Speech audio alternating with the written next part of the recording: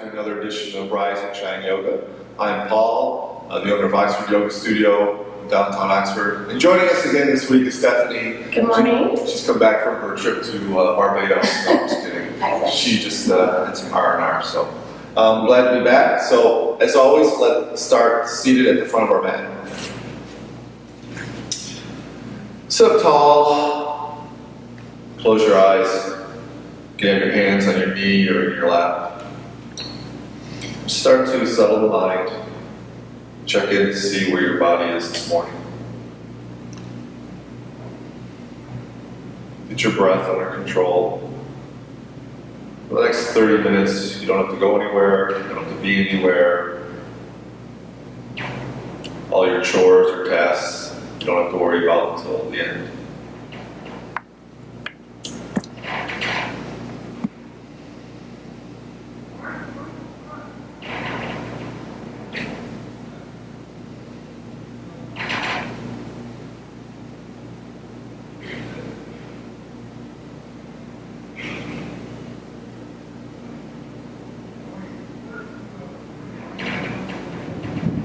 And as we start every practice, I want you to set an intention. I want you to consider this a dedication, something that helps you get through your practice this morning. This intention can be for yourself, for your family, for friends, for the world, the universe, for whoever you'd like it to be. And so make that intention now and seal it in as you bow your head. And with our intention made, let's start to deepen our breath, the yoga breath, or ujjayi breath as we call it. Deep inhale through the nose, and an exhale through the nose. And as we exhale, we want to constrict the back of the neck, back of the throat. We want to make a fogging sound like we're fogging up a mirror, a pop sound. Start to deepen that breath now. This breath is slow and controlled throughout our practice this morning. There's no huffing and puffing, no heavy breathing, just slow and controlled. And this breath, like our intention, I want you to use as a guide throughout your practice. If you find that you're rushing through the poses, that you're getting out of breath quickly, please come back to the breath. Yoga is really all about having good intentions, good actions, and strong, controlled breath.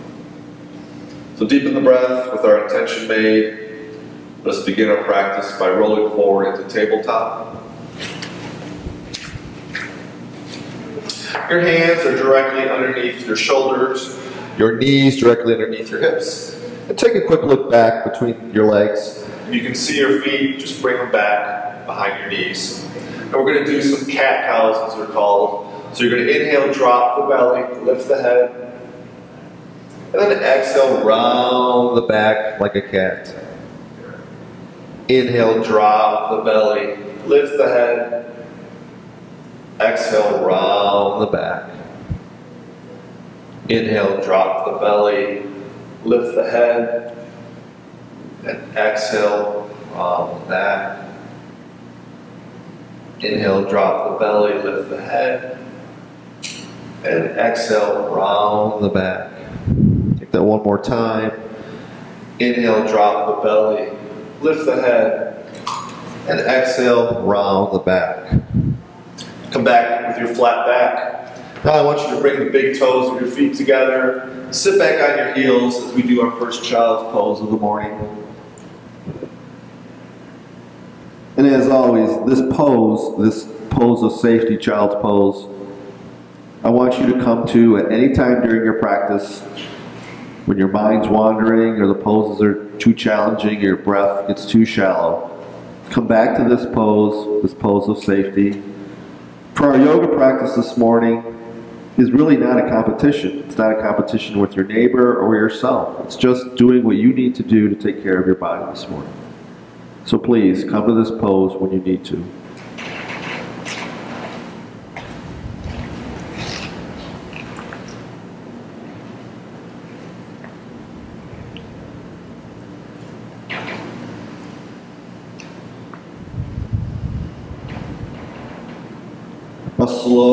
Back up. Tabletop. And we're just going to do a little bit of core work to start to warm up the body. So inhale, reach your left arm straight in front of you with your thumb up, your bicep by your ear.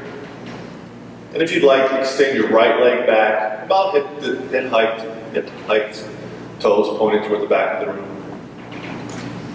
This kind of pose is both balance and core, so if you're shaking or moving, it's perfectly fine. And then exhale, release both back to the mat. And we'll do the other side. Extend the right arm straight in front of you, bicep by the ear. Then extend your left leg back, hip height, the toes pointing toward the back of your mat. Your gaze should be just slightly in front of your mat. And release both back to the ground. Now we're just going to do a little bit of a flow. So we're going to inhale our arm, left arm straight, our right leg back. Then we're going to exhale, round the back, do a little crunch, knee to elbow. Exhale, extend. Round, crunch. Inhale, extend the arm and leg. Exhale, crunch. Inhale, straight. Exhale, crunch. Inhale, straighten. Exhale, crunch. Inhale, straighten. And release both to the mat. Now we'll go on the other side. Inhale, right arm forward, left leg back.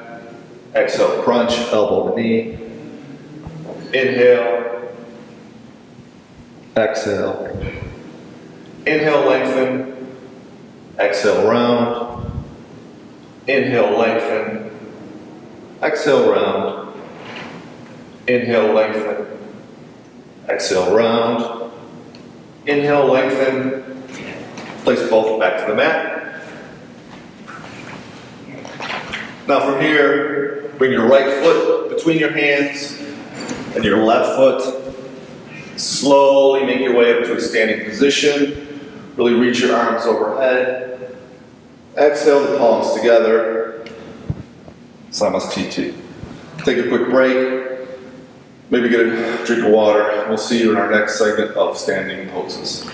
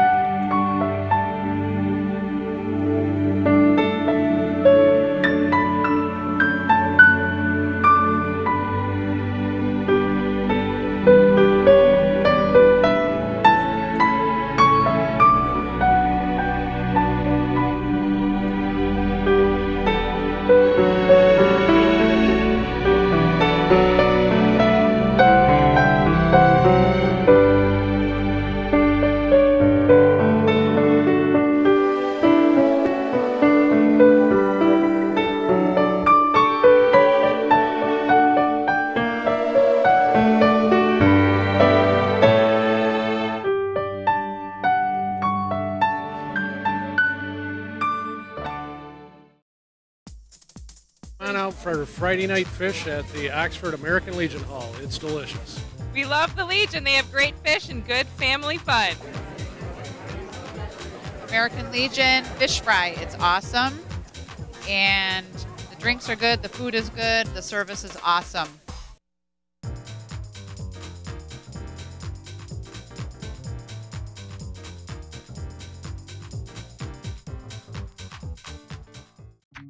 People think I'm trash they're wrong. Today I'm just an aluminum can, but one day I could be a stadium.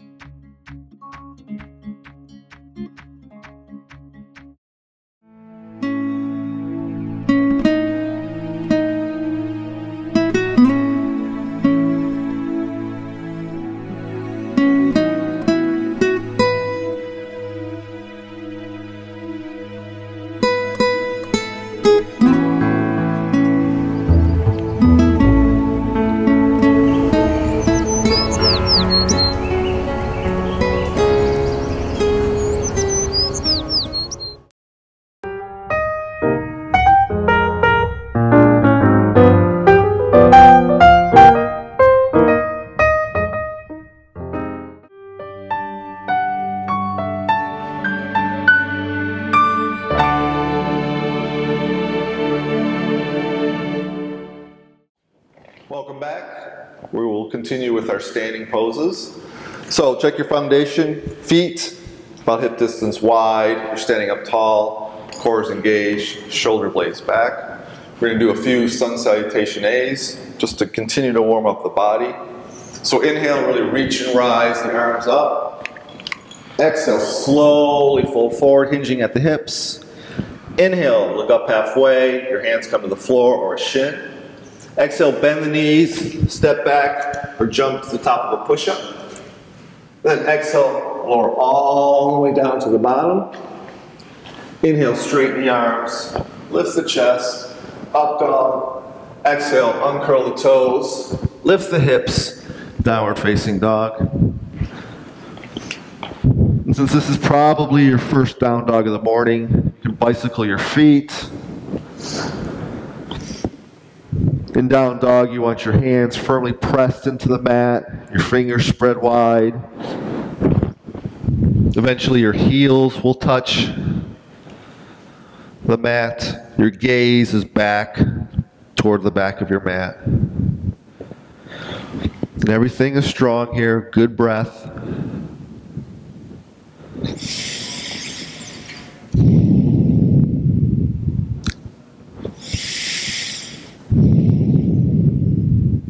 End of your next exhale, look between your hands, bend the knees, walk, step to the front of the mat. Inhale, look up halfway. Exhale, fold forward. And stay here for a bit. I want you to bend your knees. And if you can, grab opposing elbows. We're just going to dangle here. Everything is relaxed. I find this is a good stretch for the lower back, back of the legs.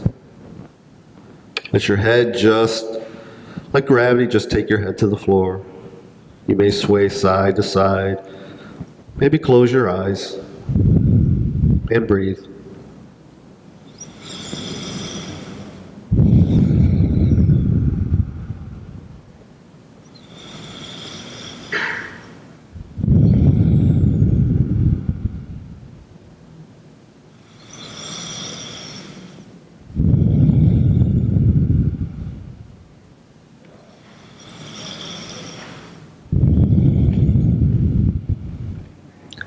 Now, if you were grabbing opposing elbows, just let them go. Your hands can come to the floor or shin. Now inhale, slowly make your way up to a standing position. Reach and rise. Arms overhead, heel back bend. And exhale, palms together, center of the heart. Right into the next one. Inhale, reach and rise, the arms overhead. Exhale, full forward, hinging at the hips. Inhale, look up halfway. Exhale, bend the knees, step back to the top of a push-up. And slowly lower down, keeping the elbows in tight, all the way to the bottom. Inhale, straighten the arms, lift the chest, up dog.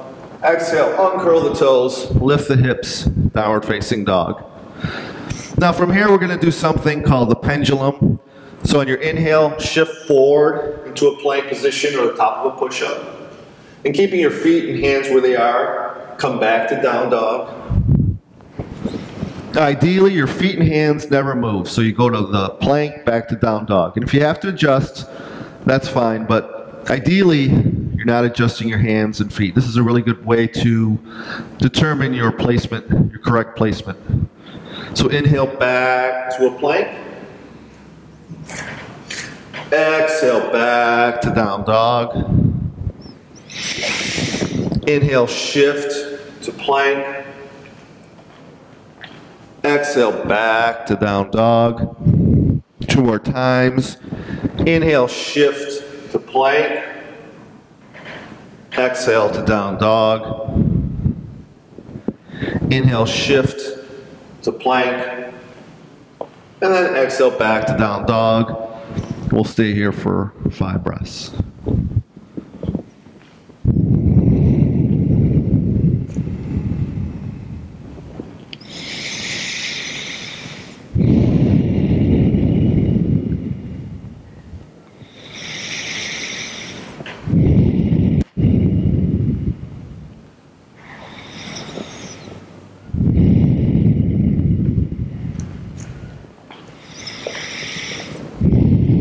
The of your next exhale, look between your hands, bend the knees, walk, step to the front of the mat. Inhale, come up halfway. Exhale, fold forward. Inhale, reach and rise. Really extend those arms. Exhale, palms together. Center of the heart, Samasthiti. So we're going to do a little flow from warrior one to warrior two. So again, check your foundation. Feet hip distance apart. We're going to inhale, the arms overhead. Now we're going to step our left foot back to the back of the mat. We're going to have a little bit of a bend in our right knee. And you want to make sure your knee is just over your ankle, not over your toes. Your arms are strong and they're by your ears. Your gaze should be look up toward the ceiling. Your hips are to the front of your mat. And of course, your breathing. May you be coming back to your intention that you set at the beginning of our practice.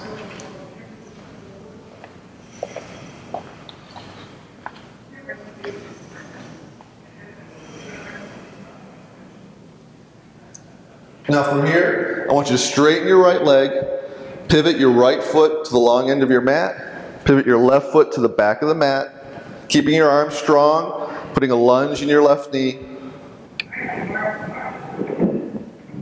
Warrior one to the back of the mat.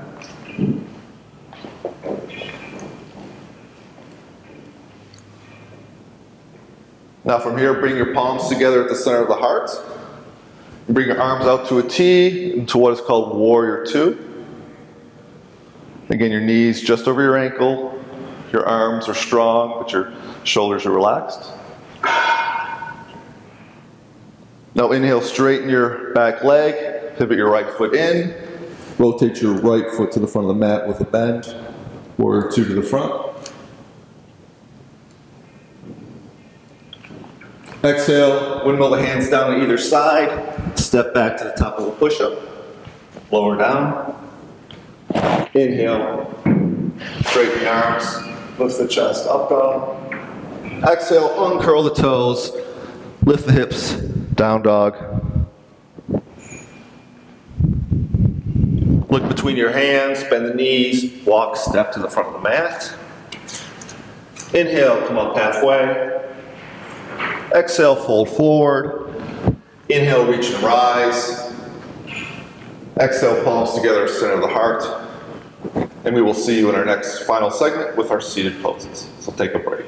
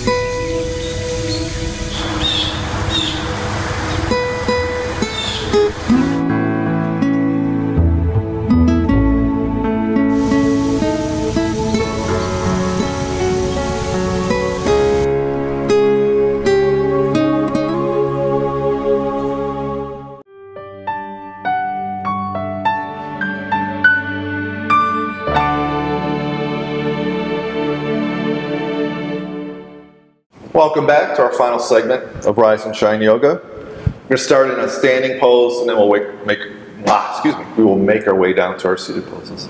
So for this one, bring your feet a little bit together. You might be familiar with this one now, Utkatasana or chair pose. So we're going to inhale, reach and rise our arms, and we're going to sit back into a chair.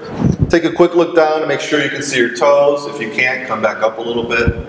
Your arms are strong. Your gaze can be to the ceiling or in front of you. And of course, you're breathing.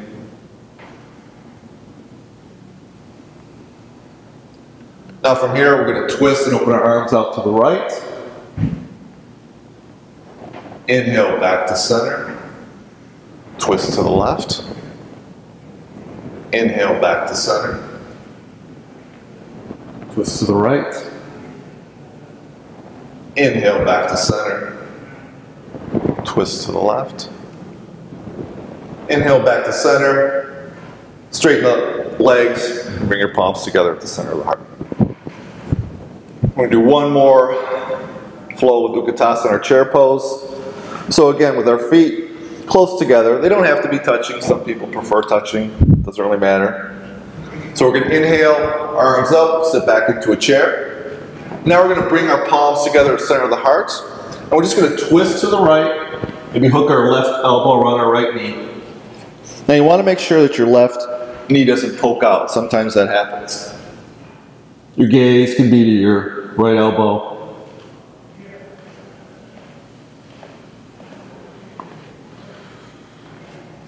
Inhale back to center. Exhale, twist to the left.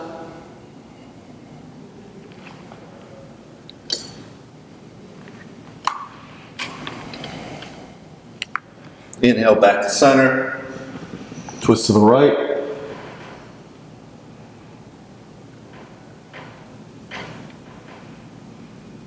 Inhale back to center. Twist to the left.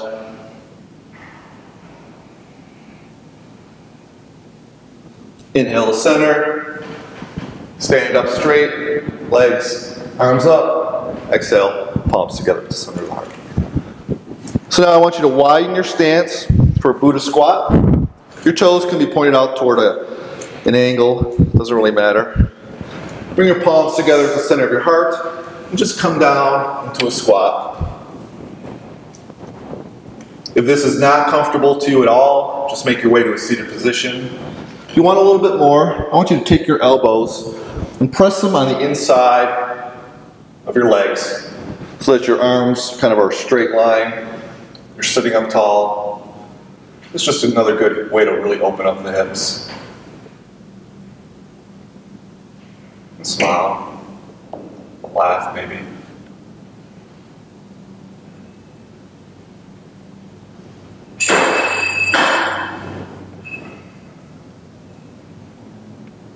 Now from here, and if this is available to you, I want you to extend your right arm in front of you, wrap it around your right knee, maybe take your left arm, have it reach your hand in the back. And if it doesn't, that's fine, at least you have your intention of doing it. It's a really good twist. Ideally, your heels are on the ground.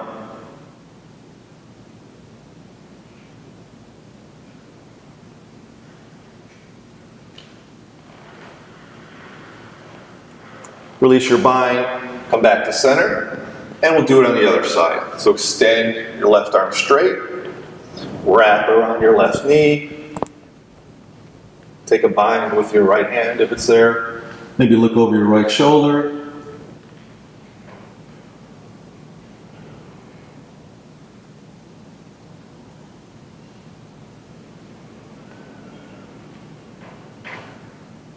Release your bind.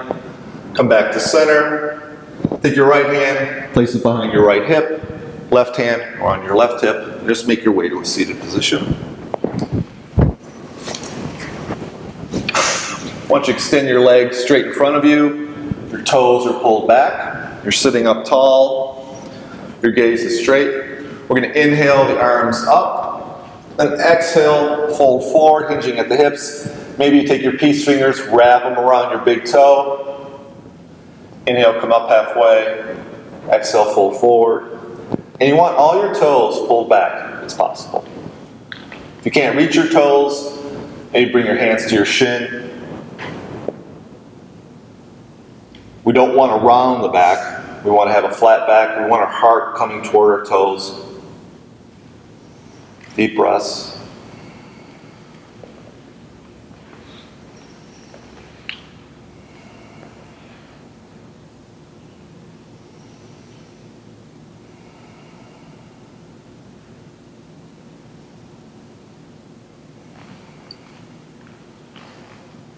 Now release your bind.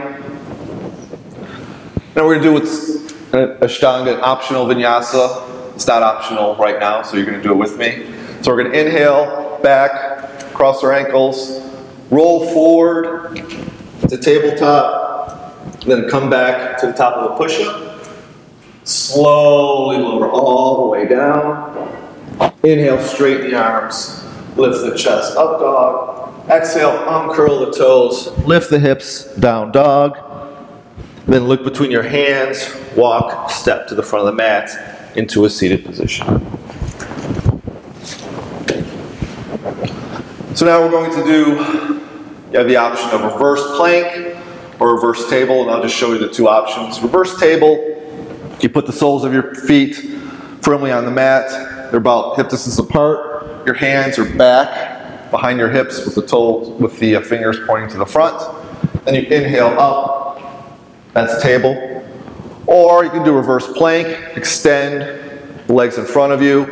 Your hands are right behind your hips, same position. And then you inhale. So I'll give you that option. We're going to hold, do one set for five breaths. So whichever option we're going to hold. Inhale. You want to really keep your hips up. You tend to want to sag.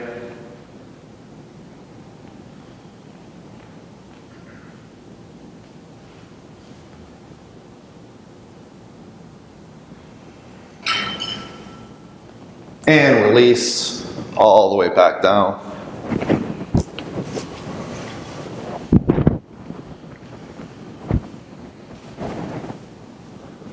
Make your way to a seated position.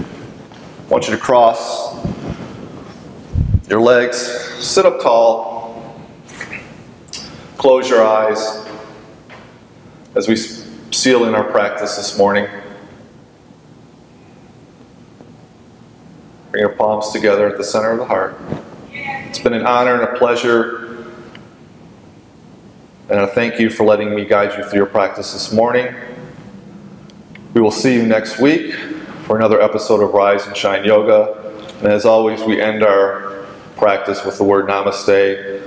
The light in me bows, shine, reflects the incredible light within each of you. Thank you so much, guys. Namaste. Namaste.